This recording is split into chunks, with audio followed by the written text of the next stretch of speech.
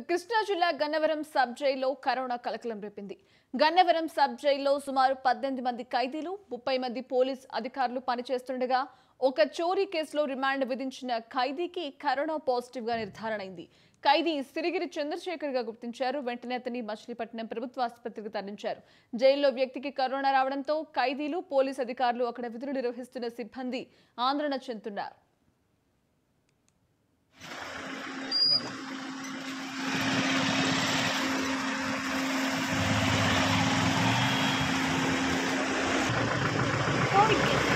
Covid